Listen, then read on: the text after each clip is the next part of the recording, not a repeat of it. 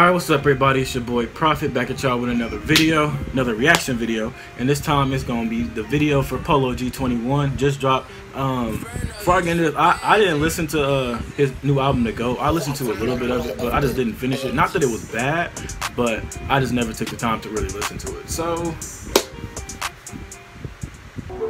Decorate your block red tape, phone sliding every day. Bunch of hollows spitting out the.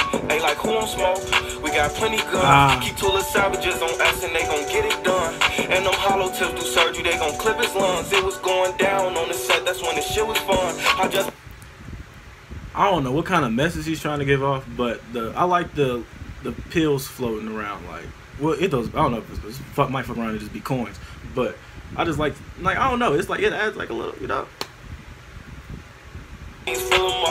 Up with knots. Mhm. I've been on my grind every day, don't believe it taking breaks. I ain't stopping till we chillin' at the top.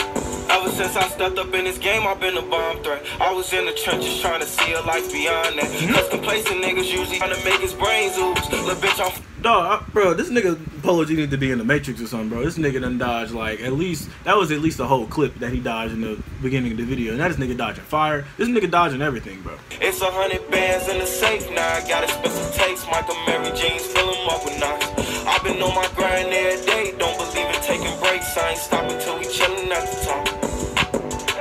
Mm. There you go, dodging bullets again, bro. Like this nigga's invincible.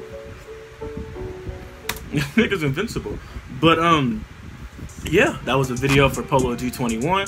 Um, dope video. I really fucked with video. Shout out to Lyrical Lemonade. Shout out to Cole Bennett. Uh, good job on the video. It's different than his other videos because for a moment it's like a lot of his videos are starting to look the same. It was just he threw like the little cartoon effects in there, and that was pretty much about it. But this one, it's definitely I feel like it's definitely tailored to Polo. You know. Uh, what else I need? To, do I need to say anything else? I don't think there's nothing else to say. But um, all right, that's gonna be it for uh this reaction. Um, make sure you like, comment, and subscribe. Make sure you check out my videos, my older videos. I mean, make sure you check out my music. Make sure you follow me on all social medias, and I'm out here. Yeah.